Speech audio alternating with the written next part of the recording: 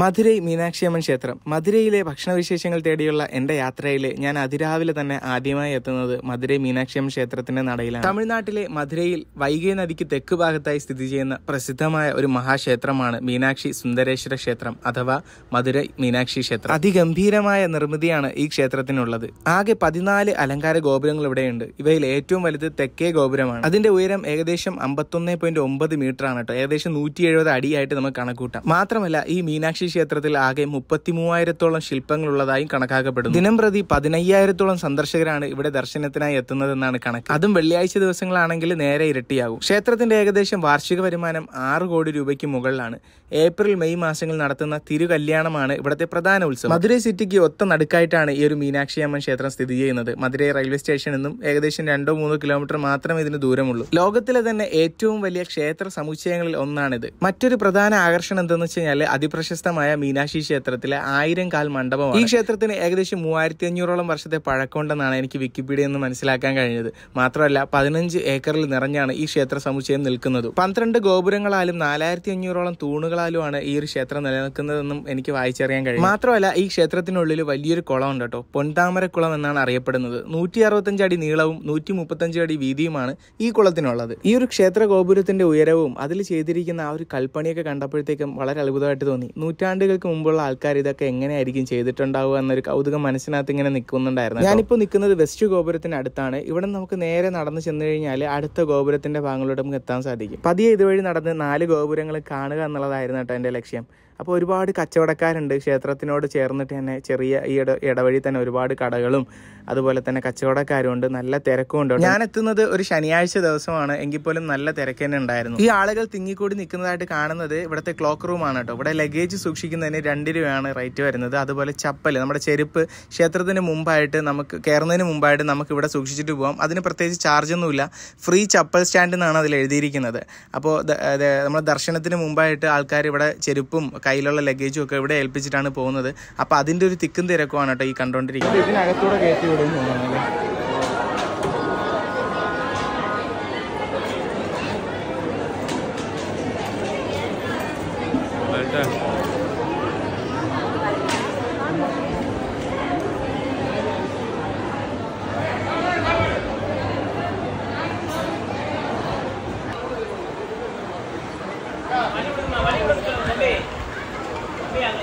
തോന്നുന്നു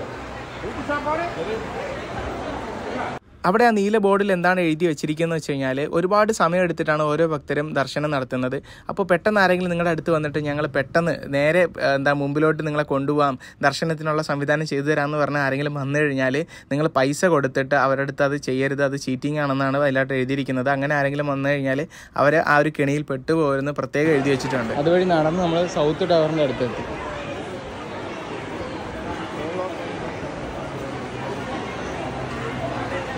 നമ്മളിപ്പോൾ നടന്ന് വന്ന് നിൽക്കുന്നത് സൗത്ത് ഗോപുരത്തിന്റെ അടുത്താണ് കേട്ടോ. ഇനിയും നമുക്ക് രണ്ട് ഭാഗം കൂടെ കാണേണ്ടതുണ്ട്. നമുക്ക് അങ്ങോട്ടും കൂടെ പോവാം. പിന്നെ ഇതിന്റെ ഒരു ഉയരം എന്ന് പറയുന്നത് നമ്മൾ ഫോണിൽ കാണുമ്പോലെ പോലെ അല്ല കേട്ടോ. നല്ല ഉയരമുണ്ട്. ഫോണിൽ കൂടെ കാണുമ്പോഴത്തേക്ക് കുറച്ച് ഉയരം കുറവുപോലെയൊക്കെ നമുക്ക് തോന്നും. നേരിട്ട് കാണാൻ നല്ല പൊക്കത്തിലാണ് കേട്ടോ ഈ ഓരോ ഗോപുരങ്ങൾ ഇരിക്കുന്നത്. നല്ല പൊക്കം.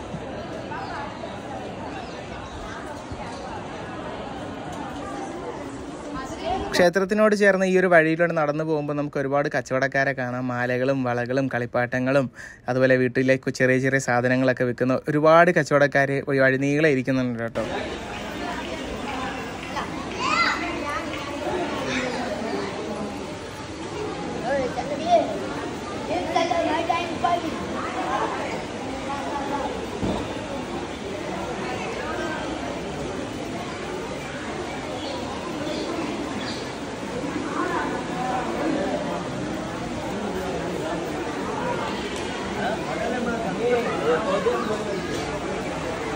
ഈ നീളത്തിലുള്ള ക്യൂ കാണുന്നത് ദർശനത്തിനുള്ള സമയമായി. അപ്പോൾ അതിനു വേണ്ടി കാത്തു നിൽക്കുന്ന ഭക്തരാണ് കേട്ടോ. ഇങ്ങനെ അവിടെ നിന്ന് അറ്റം വരെ നല്ല ക്യൂവിലാണ് തിങ്ങി നെരിങ്ങി അവർ നിൽക്കുന്നത്.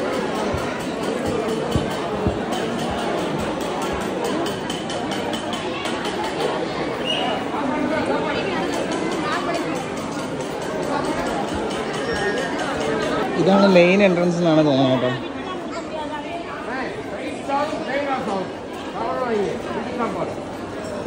அக்கா சாப்பாடும்னா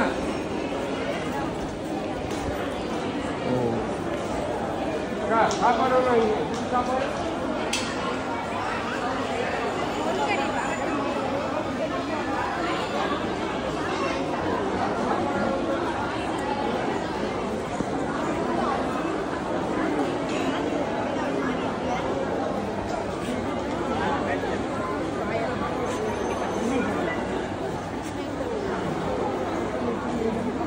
ഇവിടെ നിന്ന് നേരെ കാണുമ്പോഴുള്ള ഒരു കാഴ്ച വളരെ അത്ഭുതകരമാണ് കേട്ടോ. ആ ഒരു കൽത്തൂണുകൾ കണ്ടോ? ഇതാണെന്ന് തോന്നുന്നു ആയിരം കാലുള്ള മണ്ഡപം എന്ന് ഞാൻ ആദ്യം പറഞ്ഞില്ലേ? ആയിരം തൂണുകളുള്ള മണ്ഡപം എന്നാണ് എനിക്ക് തോന്നുന്നത്. അതിൽ എഴുതിയിരിക്കുന്നത് അഷ്ടസത്തി മണ്ഡപം. അങ്ങനെ എന്തോ ആണ് എനിക്ക് തമിഴ് ചെറുതായിട്ട് വായിക്കാൻ അറിയാവൂ. അങ്ങനെയാണെന്നാണ് എന്റെ വിശ്വാസം. അറിയാവുന്ന ആരെങ്കിലും ഉണ്ടെങ്കിൽ പറഞ്ഞു തരണം ഞാൻ ഈ വീഡിയോയിൽ മുഴുവൻ പറഞ്ഞ കാര്യങ്ങളും ഞാൻ വിക്കിപീഡിയ എന്നും അതുപോലെ മറ്റ് ഗൂഗിളിൽ നിന്നൊക്കെ സെർച്ച് ചെയ്തിട്ട് എനിക്ക് ഞാൻ വായിച്ചറിഞ്ഞ കുറേ വിവരങ്ങളാണ് ഞാൻ ഇതിലൂടെ പറഞ്ഞിരിക്കുന്നത്. അതിൽ എന്തെങ്കിലും തെറ്റുകളോ തിരുത്തുകളോ ഉണ്ടെങ്കിൽ നിങ്ങൾ എന്തായാലും എനിക്കൊന്ന് ഈ കമന്റ് ബോക്സ് വഴി ഒന്ന് പറഞ്ഞു തരണം. അതുപോലെ തന്നെ മധുരൈ മീനാക്ഷിയമ്മ ക്ഷേത്രത്തിനെ കുറിച്ച് ഞാൻ പറയാത്തതും നിങ്ങൾക്ക് അറിയാവുന്നതുമായ എന്തെങ്കിലും കാര്യങ്ങളുണ്ടെങ്കിൽ അത് നിങ്ങൾ കമന്റ് ബോക്സിൽ നിന്നിടണം നമുക്ക് അറിഞ്ഞൂടാത്ത ആൾക്കാരൊക്കെ ഒന്ന് അറിഞ്ഞിരിക്കാം അപ്പോൾ ഈ വീഡിയോ ഇഷ്ടപ്പെട്ട് കഴിഞ്ഞാൽ നിങ്ങളൊന്ന് ഷെയർ ചെയ്യാൻ മറക്കണ്ട. അതുപോലെ തന്നെ എന്റെ പേജും കൂടെ ഒന്ന് ഫോളോ ചെയ്തിട്ട് കഴിഞ്ഞാൽ ഇതുപോലുള്ള ഒരുപാട് നല്ല നല്ല കാഴ്ചകളും യാത്രാ വിശേഷങ്ങളും ഭക്ഷണ വിശേഷങ്ങളും നിങ്ങൾക്ക് മുമ്പിൽ കാണാൻ കഴിയുന്നതാണ്.